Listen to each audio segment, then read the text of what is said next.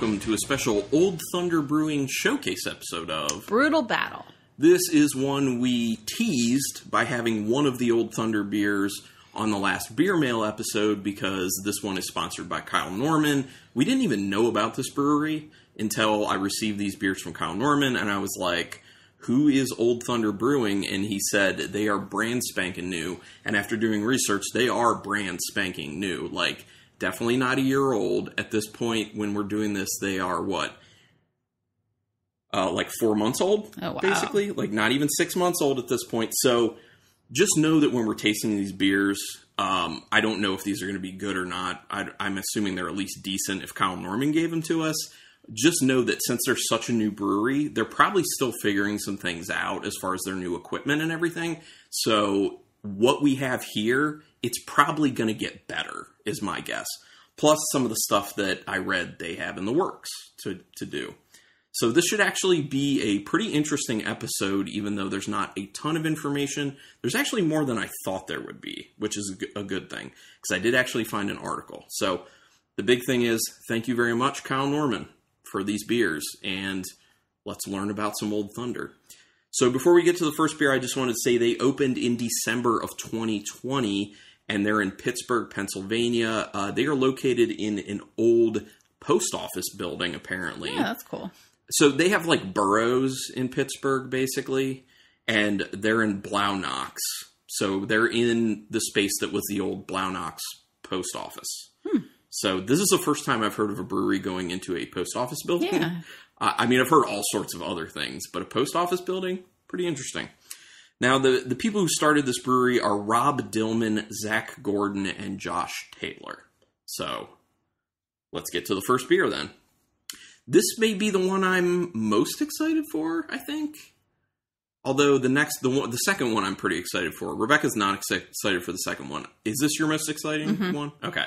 So the first one is their 340 lager, and this is actually a Helles lager, which um, not a lot of people doing Helles Lager, so good on you. This is 4.8% alcohol, and all the beers we're having here are in 16 ounce cans, as is the way most breweries are doing it. And you said this is one of their year-round beers. This is one of their staple beers. So when they first opened, I don't know if that's changed, but from what I found, when they first opened, their staple beers were an IPA, which I don't remember which one it is, and this Helles Lager. Okay. So, which, if you ask me, it's rare that a brewery just opening has a lager as a staple beer, Yeah. especially with you know the current climate beer wise. Everybody wants the the hazy IPAs and whatnot. Oh yeah, go. I guess I could have just handed that to you, right? There you go. Okay, so what is it looking like? What do we think? Does it look like? Oh, man, it is. That is very light. Very light, yellow, I mean, it's yellow, but it's a super pale yellow. very carbonated. Very carbonated, very clear. Mm-hmm. Love that clear beer. Um, it's got yeah, it's got a lot of head sitting on top of it because you know we always pour agitated because we're old and we don't need a whole lot of CO two intake. Well, I'm speaking mainly for myself, but we are about the same age, so yes. Very hay, honey. Oh, that nose is beautiful. I love that nose. Yeah. Hey, honey. Oh, that is so crisp. That is so crisp and clean, on Mm-hmm. The nose. It's very light. And this is perfect because we just did a two mile walk. So, like, this is the type of beer I want after a two mile walk. Like, nice, light, refreshing, low ABV. Smells crisp and clean. Oh my gosh. Yeah, you hit it right with the hay. It's a little biscuity on the nose, Yeah. too, like a little bready, biscuity. Smells really good. A little bit of, of a, like a faint lemon peel, I think, too, on the nose. But yeah, I mean, it just smells like a really nice, clean lager. And that's how it tastes too. It tastes exactly how Ooh. it smells. And I think I'm Oh. definitely getting more of the bready characteristics in the taste than I did on the nose. But yeah, Yeah. you really got Oh, that. Dude, this is great. This is a really good lager. This is a nice Helles. Mm. There is more bitterness on the finish than I thought there'd be based off the nose. That's not a problem. No, not at all. I just wasn't expecting it. But that's interesting. hmm very tasty. Like you were saying, definitely a lot more with that kind of biscuity breadiness. I'm tasting more of the lemon peel note to it than I was getting in the aroma. It definitely has more of a mouth feel to it than I was Mhm. expecting from the nose too. I thought it'd be a little more thin. Uh, it's more substantial. This is it really cooked your mouth. yeah, it does. This is an interesting lager because it's light and easy, but at the same time, it's it like really lets you know it's there because the viscosity is more than you were thinking it would be, and the flavors are relatively big. Honey, hay, all that. That's a beautiful lager. Mhm. I really like this. I really like it too. Mm. Kyle Norman, tasty. um, we'll take a case of this, Kyle Yeah. Norman, if you're able to do that. We'll take a case of this one. That's a really good beer. That's a great start. I'm a fan. Oh yeah, dude. Okay, so a little bit more information about Old Thunder Brewing. So, like I like to do, I always like to read something from these breweries to kind of give people an idea of how is the brewery branding themselves, basically. Like, what are they, they saying about themselves? So, what is they saying? what is they saying? Yes. So um, there's a there's a statement on the website in their about us section from Josh, Rob, and Zach. So I wanted to read that, and I will tell you I have not read this yet. So Oh. I will react to it as everyone hears it. Old Thunder Brewing is the apex of experience, creativity, and passion. Brewer owned and brewer operated, we are dedicated to serving our diverse community while remaining loyal to the past, present, and future of beer. Pretty standard thus far. Located in, in the Blawnox borough of Pittsburgh, Pennsylvania, our tap room will be a welcoming place where guests can enjoy beers and each other's company. We are building our vision of a brewery and a forum where ideas are shared and relationships are formed. Our production schedule will include the highest quality lagers and ales, along with strong beers and mixed fermentation recipes destined for wood maturation. Mm. That sounds good. We've spent years writing this story, and we're excited to include you in the next chapter. Okay. I think it's well written. Yeah. It also says what pretty much every Yeah. brewery says is holding to the traditions of the past, but doing something new. Yeah. Mm-hmm. Pretty standard. Yeah, pretty standard. So, whatever.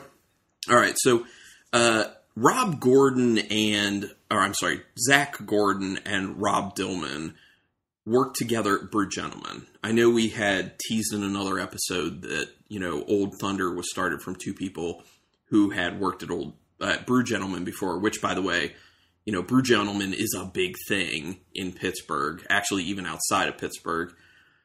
They're pretty known. I think a bunch of years ago they were actually recognized by some magazine as like top 25 breweries in the US to watch. Mm. So, yeah. So they they're a big name and we were there when we visited last year, very early last year before COVID, and they were great.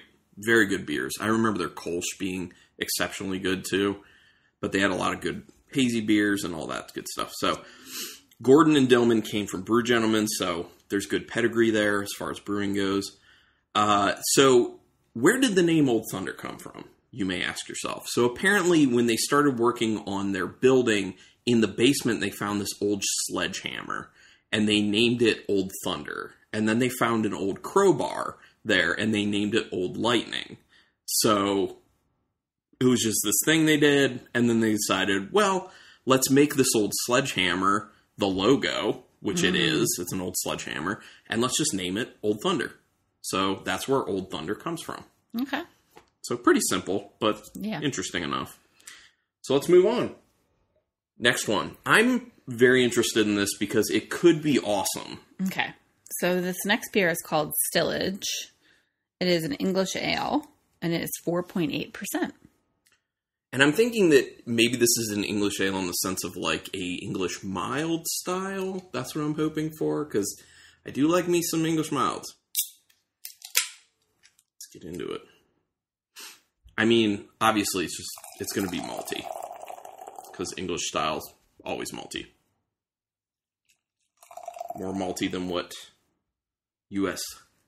likes to do, pretty much. Okay, Okay. looking like reddish brownish. Reddish. Yep. Uh, a little bit hazy. Yeah. Decent amount of head. Yeah. And the head's got a little bit of like a yellowish brownish tinge to it.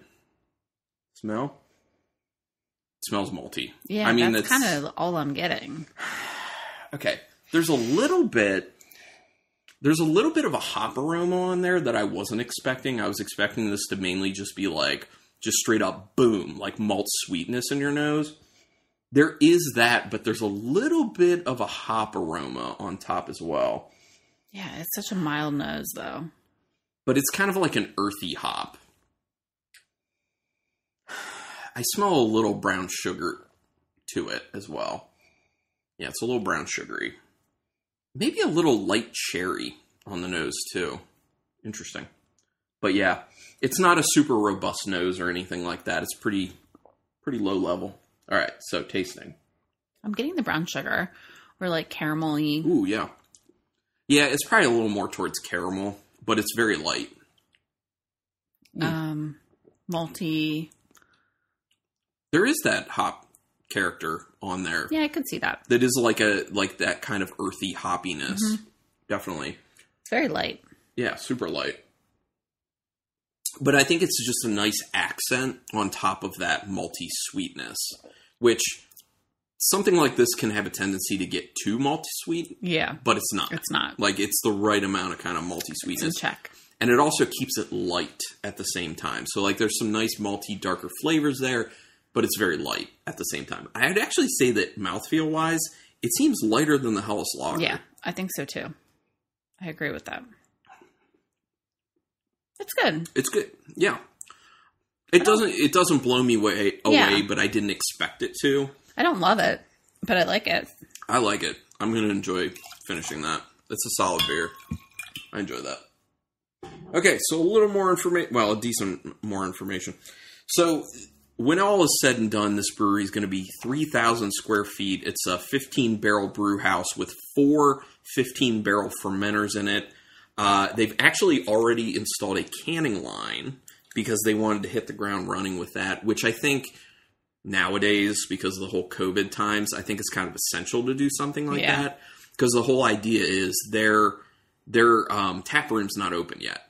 They're actually still actively building the tap room right now, which you know that makes sense because you can't really use it so much because of the COVID situation. So they're mainly just turning out brews already while they're still building out their Oh, brewery interesting. and just immediately canning them and people can order online and then show up and pick them up at designated times.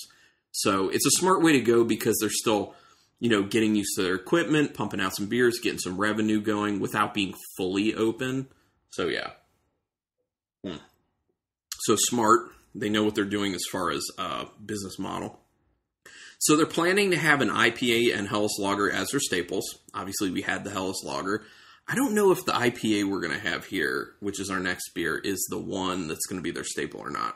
But we'll see. Uh, but they're going to make a lot more, including, as you heard in the statement I read, mixed fermentation beers, which that always excites me because I like funky, I like sour. So I'd be interested to find out where th- they go with that. Um, they are planning on having a barrel aging and saison program, complete with foeders and wine barrels to be used. Now, whenever you say saison, I also perk up because not a lot of breweries doing saisons, and even amongst the ones doing saisons, not a lot of breweries doing great saisons. So I find that cool. Uh, they're going to use food trucks. No big surprise there because pretty much every brewery wants to use, utilize food trucks. And yeah, that's all the information I have for that. Basically, they're still building. You know, Oh, they're still okay. not 100% done, so they're still working on stuff, but still putting out beers at the same time. And after we taste our next one, I'm going to give you the list of all the beers that they had available to purchase on the website when we recorded this. And it's 15 beers. It's a lot. That does feel like a lot for a brewery that's not fully built and just opened in December. Yeah. So it's that's crazy. So pretty impressed by that. They're really moving. All right, so this next beer is called Rain Nor Shine, and this one is an IPA, and it's six percent alcohol. Okay. Good, so not too crazy. Yeah. It's approachable. I'm assuming this will be a hazy IPA because a lot of their IPAs seemed that they were hazy style when I was looking up what they had in cans. It looks hazy. Okay, go ahead, grab it. Let me know what you got. Oh yeah, definitely hazy. Very yellow with a little orange to it. Mm-hmm. They all have the same amount of carbonation. It seems like. Yeah, it's a pretty decent amount. It's not too much though, I would say. Ooh, yeah, that's a robust nose. Yeah, I'm getting that Vaseline, I yeah, I could definitely see that. and once I get that, it's kind of it's so off-putting for me. it's it smells milkshakey, doesn't it? Like a like almost a little creamsicle like. I could see that. Um, because it's got kind of this this creaminess in the nose, which I'm assuming they used oats for this, maybe like flaked oats. Getting mango. Yeah, I definitely get that mango. Good point. Yeah, that Vaseline note is giving it a little bit of kind of like this weird funkiness to it. There's a slight pine at play in there. Mhm. It's giving it like a slight spice kick. Yeah, I was gonna say pineapple. And orange, like Yeah. juicy orange. smells really good. I don't really smell much of any bitterness to it though. But the big test will be obviously the the taste because with a lot of these types of beers with hazy IPAs, you get a lot being promised on the nose and you get very little pro- actually in the flavor in comparison. So, we'll see. I think it's good.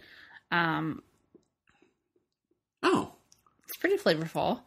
Um, you get the fruit. I'm not getting the Vaseline yeah. fla- flavor profile, just on the nose, which is good. Yeah, I don't get that either. It definitely does fall into that category of a lot of these where, you know, you, you have big things promised on the nose, and with the flavor, it's a lot less. But I think the flavor is matching pretty well what the nose was. And you're getting that mango to it, you're getting a little bit of that pine, you're getting that orange juice aspect. There is more of a bitterness actually mm-hmm. on the finish than I thought there would be based off the nose. And it does have a little bit of that yeasty character that you get with a lot of hazy IPAs, but it's not too much. Has a nice mouthfeel, nice and really kind of coats your mouth. Yeah, I agree with that. I like that. This reminds me a little bit of like the Dancing Gnome uh, hazies, which are pretty good. So, I just got a hit of grapefruit, by the way, in there as well. A little hit of grapefruit. I like that. Now, I am interested. I want to read a little bit further if it says specifically. Oh, yeah. Okay. So it's got Nelson Sauvin hops in it. So we're supposed to get New Zealand fruits and rye bread. Oh, that's where that kind of like Spicy. spice kick. Yeah. Okay. New Zealand fruits. Yeah, I don't know. What, What the does hell that mean? is. I don't know. Kiwi? What the hell is a New Zealand fruit? I don't know. Or kiwi is just a bird from New Zealand? Where do actual kiwi fruits come from? That is a good question. Someone respond. Hmm. Okay, so I said I would go over the beers that they had available. So the roundup is this. This kind of makes me a little sad, but I understand it at the same time. Of the 15 beers that were available to, available to be purchased online, there were 15. Six were straight up IPAs, three were double IPAs, and two were pale ales, for a grand total of 11 of the 15 beers being hoppy. Hmm. That makes me sad personally because I wish there was more of a variety for places like this, but I understand it. People, you know, the market really is demanding hoppy stuff, so I get it. I get it. So here's a rundown of what they had False Kingdom IPA, Heroes and Ghosts, which is a Northern California IPA, supposedly. I wonder if that means it's kind of more West Coast style Yeah. IPA. That'd be my guess. Big Blocks, which is a double IPA. Lions on Fourth Avenue, double IPA. A Glimmer in the Dark, which is an Imperial Stout with coffee. I'd like to try that. Hearts in History, which is a IPA. Dissolve and Disintegrate, double IPA. Toe Motorin, which is a pale ale. Miles to Room. Oh, sorry, Rome. My spelling sometimes. Uh, Miles to Rome, IPA. Sifting Through Vanilla, which is an oatmeal stout with vanilla beans and coffee. That was the most interesting sounding one of what I read. Permanent Visitor IPA, Backwards Walk Pale Ale, Golden Cones IPA, this 340 Lager, which we tried, and Midnight Blue, which is a porter. Which is that our last one? Yes, it is. Midnight Blue. Good transition. That hap- just happened to be the last one on my list, and that's our last beer to try. Midnight Blue, which is a porter, and it is 7%. Cool. Pretty excited about this too. Yeah. I hope this is a really good porter because a good porter can be amazing. Mm-hmm. You don't get a lot of straight up port- just porters. Nah, you don't. There you are, ma'am. Thank you. A lot of head to it. A lot of head again. Yep. It's dark. Dark, like chocolate milky head. Yeah. Yep, super dark. Looks like you would assume. Yeah, it's got a really dark brown head. Real dark Yeah. brown head. Smell? So malty. Ooh, that's got a great smell to it, though. I get an ashiness on the nose, but it's not too much. It's not turning me off. And just a really nice, um, slightly chalky dark chocolate smell. I'm getting a little caramel. Ooh, yeah, I could see that. little caramel. Like um, there's something sweet. There is something sweet for sure. I agree with that. There is a sweetness to it. It does smell a little creamy too. Mm-hmm. That smells really good. It smells easy, but it smells really good. And there is a little bit of a bitter kick on the end of each sniff. Oh, that's good. It's so flavorful. Whoa. Oh man. Yeah, that flavor's robust. That is good. I, I enjoy that. Robust. It is. that is a good porter right there. It is really good. Mm. I feel like a lot of porters can be a little like on the watery side. This is has a nice mouthfeel. It's very flavorful. Yeah. And I think it's got pretty much exactly what we were smelling. You know, there is that bit of an ashiness to it, but it's not too much. There's a little bit of a chalky, dark chocolate, that little bit of caramelly note to it, like you were talking about. There is a slight kind of beef jerky slash soy sauce to it. And there is a little bitterness. Mm-hmm. Kind of balances it out. Actually, honestly, it, it finishes with more of a bitterness than I assume there would be from the nose. And there is a sweetness to it, like we said we were smelling, but it's just this this slight hint of a sweetness that that complements everything pretty well. Yeah, it's good. That is, yeah, I um, yeah, I dig that. That's a good one. Hmm. I don't think I'm going to have too hard of a time ranking.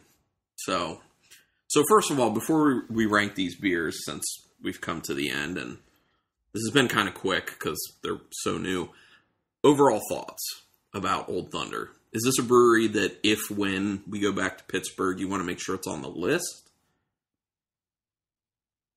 Uh, I mean, I don't. I can't say yes or no just based on this because I feel like there's so many breweries in Pittsburgh. That's true. And I know you probably want to go back to Hitchhiker. Hitchhiker was really ones. good. Yeah, you loved Hitchhiker. Grist House was a lot of fun too. Um, but uh, I guess it'd probably come down to what's the tap list look Yeah. like when we would get there. Okay, so all right, let's start figuring out what our right ranking is. I think we're gonna have the same number one, and I mean we might have the same overall rating. Okay, do you want to go?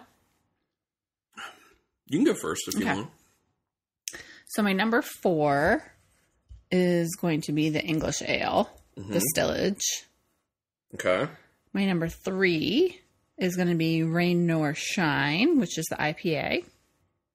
My number two is the Midnight Blue Porter. And then my number one is the 340 Lager. Which is the Helles Lager. Same. Same. Yeah. Yep, exact same. Um, the only one, the only ones I really had to think hard about were between the Porter and the Helles Lager, but that Helles Lager So really stands out. I mean, the Porter, as far as porters go, It's really, really does stand porter. out. But of this lineup, the Helles Lager like really stands out as being one hell of a beer that I would like to have more of. Mm-hmm. Like I said, I want a case of this beer when I have this available.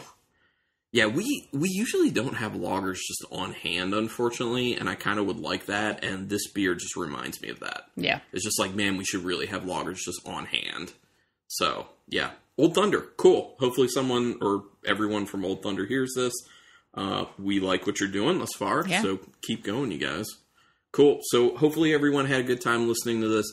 If there are breweries you want us to try and do showcases on, just let us know. Brewtal Battle Podcast at gmail.com. Uh, give us ratings and reviews on whatever podcatcher you're using. If you can do iTunes, that's the most helpful. So that would be great. Also, just word of mouth. Uh, and our other big thing is the Instagrams. Instagram. Brewtal Battle Podcast. Yes, where Rebecca's putting up plenty of uh, photos. But thanks again to Kyle Norman because we wouldn't be doing this episode without Kyle Norman and his generosity. So thank you very much. Uh, and until next time. Keep it brutal.